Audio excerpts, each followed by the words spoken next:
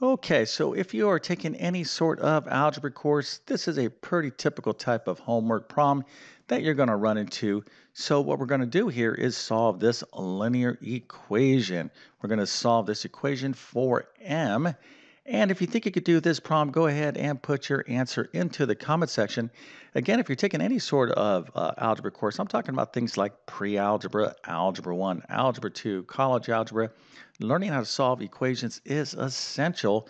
And I'm going to get into the spirit of things here by doing this problem on some notebook paper. So it just kind of seems realistic, but uh, I'm going to show you the exact steps to uh, solve this particular problem. Matter of fact, I'm going to show you the solution here in just one moment, and then we're going to go through this thing step by step. But first, let me quickly introduce myself. My name is John. I'm the founder of TC Math Academy. I'm also a middle and high school math teacher. I've been teaching math for decades. I absolutely love teaching mathematics. And through those years, I've kind of really learned this one primary thing, and that is all students can be successful in mathematics if they want to learn math. Now, if you uh, are struggling in math and you don't want to learn math, guess what?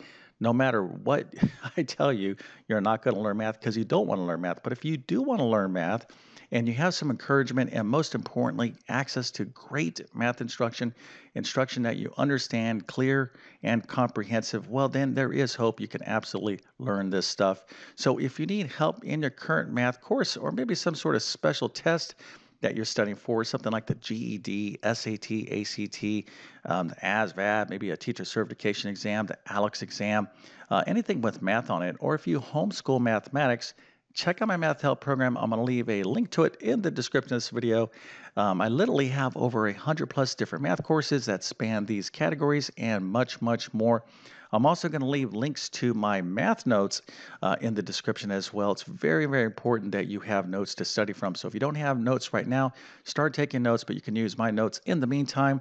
And if this video helps you out, don't forget to like and subscribe as that definitely helps me out.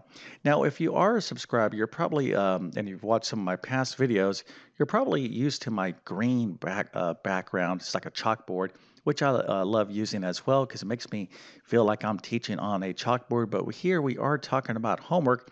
So we don't do our homework on a chalkboard, we do it on a regular three ring binder notebook or something like this. So let's go ahead and get into this problem now.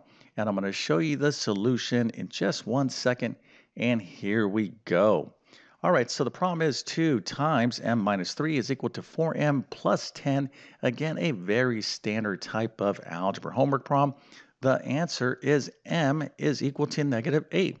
Now, if you're doing your homework, right, this would just be one of several problems uh, that you would do.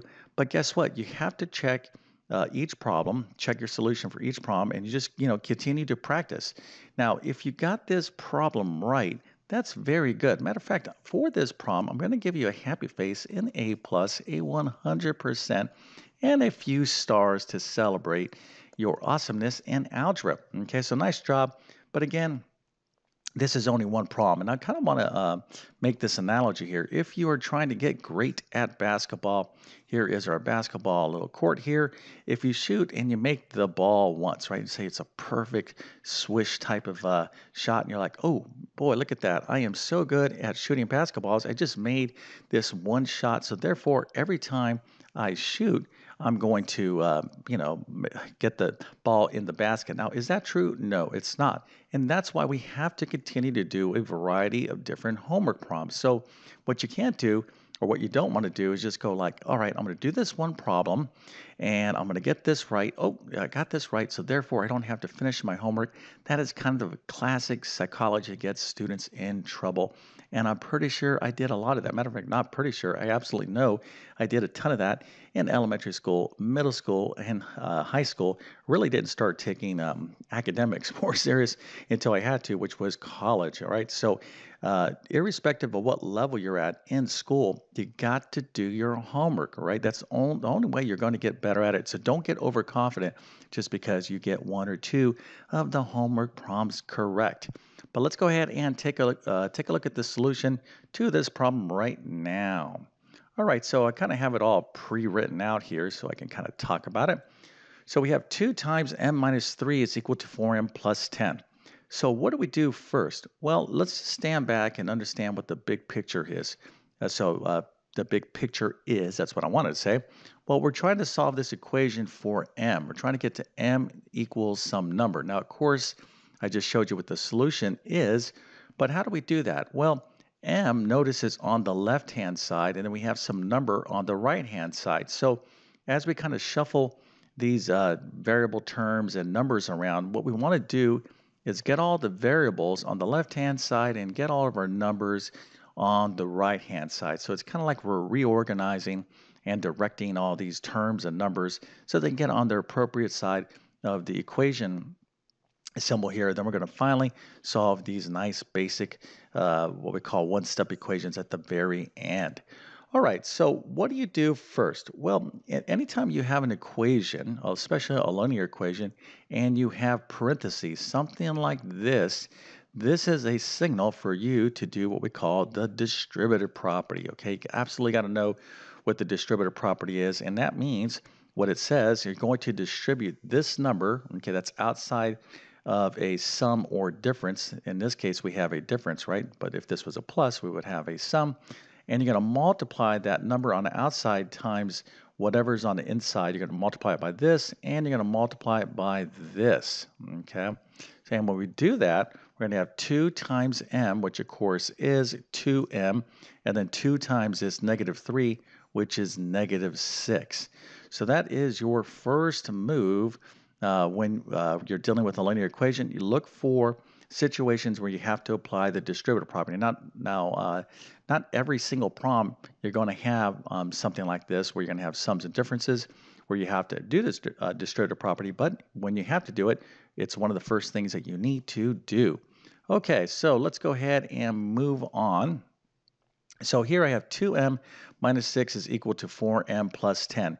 Now, one thing I want to say is that when you're doing your homework or quizzes or tests, doesn't make a difference, you want to use uh, whatever lines are available. So on your homework, obviously you don't want to be using like printer paper uh, where you know you're trying to you know be nice and neat but it's difficult because what ends up happening is you're kind of like writing and then maybe you can't get these things nice and parallel but obviously if you're using college ruled paper like what I'm using here all right be nice and neat right? neatness is critical that's why you want to use a pencil and you want to use the lines on your paper so you don't want to just get sloppy and go real fast you want to create habits of neatness and organization.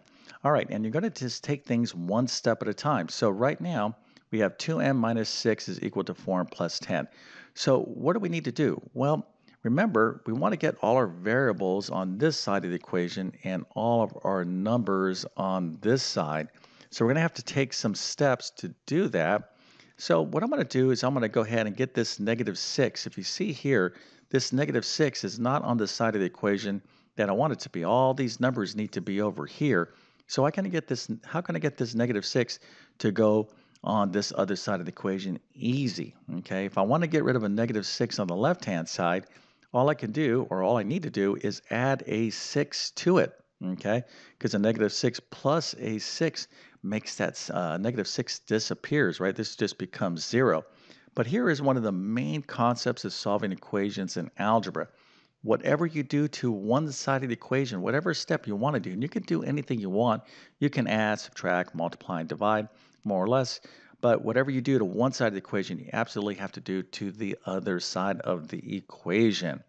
All right, so and you want to show this step, you know, in a very explicit manner, just like so. And I'm going to recommend working it in a column manner like so. There's another way you could write this like plus 6 right here, but I would not recommend that. So you're going to go ahead and show this step. We're going to add 6 to both sides of the equation. We're going to get that number on the right-hand side, and then you're going to just be thinking adding down, okay? So 2m plus nothing here is just 2m. So I'm going to write that 2m here because I know negative 6 plus 6 is 0. Okay, we don't need to write the 0 there. It just kind of disappears. And then over here, I got 4m plus nothing is 4m. And then 10 plus 6. Now, you're going to add 6 to both sides. So if you have a number here, you're going to put that number underneath that number. So 10 plus 6 is, of course, 16. Okay, so at this point, what you don't want to do is start working on this. All right, I'm going to show you uh, which is a kind of a common mistake. Students get you know pretty excited about taking a step, and then they kind of like start working a next step on the result of taking one step. You don't want to do that. What you want to do is rewrite the res- uh, the results of one step down here. Okay, this way you can read what's going on, and more importantly, your teacher can read through and say, "Oh, look at this! They know exactly what they're doing." They must be watching that guy on YouTube because, uh, boy, they are spectacular in algebra. All right, so let's go ahead and uh, continue on. So now I'm looking on the left-hand side. Do I have any more numbers to move to the right-hand side? Nope. I'm pretty happy with all my numbers over here. Okay, so now I have to address the variables. Okay, I don't have all the variables on the left-hand side, so I got to get this 4m uh, moved over to the left-hand side. So how do we do that? Easy. All we have to do is subtract a 4m from both sides of the equation. Okay, so let's go ahead and uh, you can see I have, uh, have that step uh, listed right here or, or, written right there. So we're going to add down, so a positive 2m plus a negative 4m. You got to be very careful with positive negative, uh, negative numbers here. Is a negative 2m. And then we have 4m minus m is 0, so we don't have to write that 0. And then we add down here, 16 plus 0 is 16. So there we go. And right here, we're down to negative 2m is equal to 16. I want to um, make sure you understand something. This is a nice, simple, what we call one-step equation.